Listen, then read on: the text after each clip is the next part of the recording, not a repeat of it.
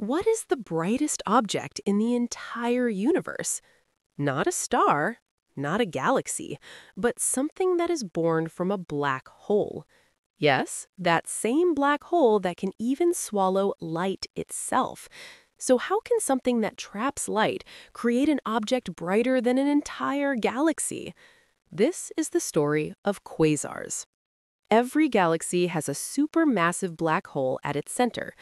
Some black holes remain quiet, but others become extremely active.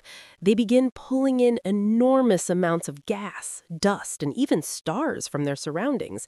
But this material doesn't fall directly into the black hole.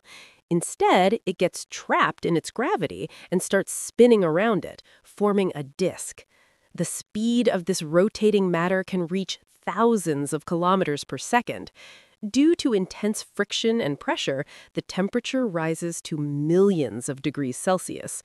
From this extreme environment, powerful light and radiation are released.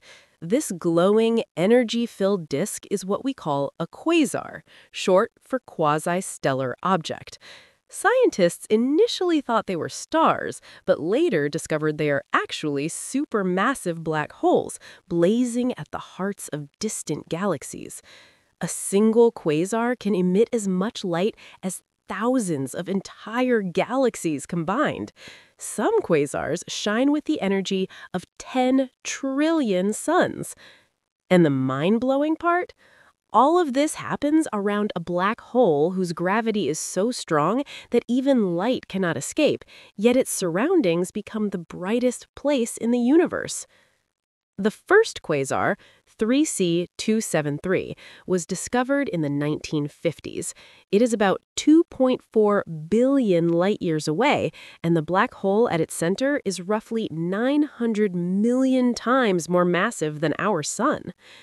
Initially, quasars could only be detected through radio waves because they were too distant to see with optical telescopes. But today, with NASA and advanced observatories, scientists have discovered over a million quasars. Each quasar is a new mystery, a new cosmic story where darkness and light coexist. Because where darkness is deepest, the universe shines the brightest.